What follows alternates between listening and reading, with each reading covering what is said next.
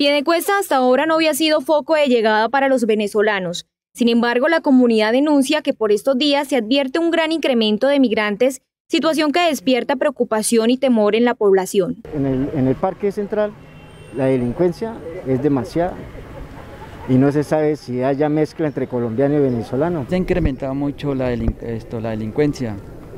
Hay gente que viene a trabajar, lógico, pero es que también han llegado unos que prácticamente yo creo que es que lo están soltando por allá a las cárceles. El hecho de que haya mucha gente eh, en el municipio y todo esto, y más en la temporada en que estamos, pues sí genera una sensación de inseguridad. A algunos ciudadanos les inquieta la atención prioritaria que les dan, dejando a un lado en muchas ocasiones a los mismos piedecuestanos, además de la inseguridad y el riesgo de contagio del COVID-19, ya que muchos no cumplen con los protocolos de defensa.